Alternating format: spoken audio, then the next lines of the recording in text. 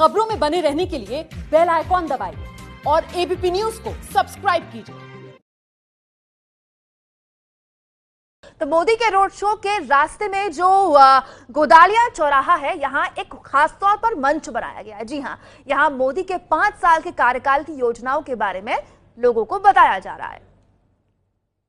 इस वक्त हम गदोलिया चौराहे पर मौजूद हैं और आप यहाँ पर देखेंगे छोटी सी खाट यहाँ पर बनी हुई है।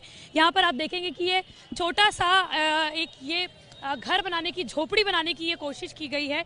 यहाँ पर आप देखेंगे ये थाली भी है। यहाँ पर एक बड़ा सा ये जो थाली होती है, ये भी बनाई गई है। और साथ ही साथ प्रधानमंत्री नरेंद्र मोदी के कार्यकाल में कौन कौन सी योजनाएँ ग्रामीणों के लिए रही हैं, वो भी खास तौर पर इसे दर्शाया गया है। छोटे छोटे आप देखेंगे कि ये गेहूँ जो है, वो यहाँ पर, उसके भी यहाँ पर जो छोटे छोटे गेहूँ जो हैं, वो भी यहाँ पर लगाए गए हैं।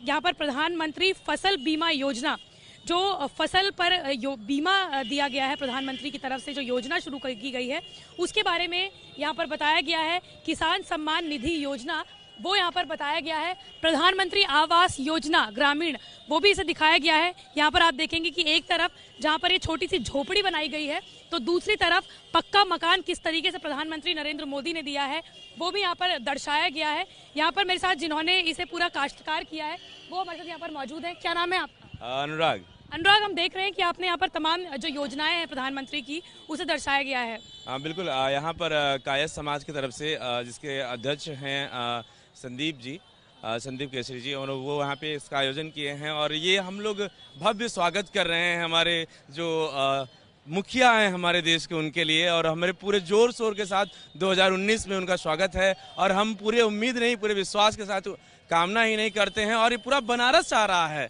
कि मोदी जी एक बार फिर से आपने देखा कि भव्य स्वागत की तैयारियाँ की गई हैं। गदोलिया में ये जितनी भी प्रधानमंत्री नरेंद्र मोदी के समय की जो योजनाएँ हैं ग्रामीणों के लिए खास तौर पर, उसके बारे में यहाँ पर एक झोपड़ी से, पक्के मकान से, ये गेहूँ के खेतों को जो छोटा छोटा दिखाया गया है, उसके ज़रिए। कैमरा पर्सन सुरेंद्र के साथ श्रेया बहुगना एबीपी न्यूज़, गदोलिया, चौराहा, बनारस।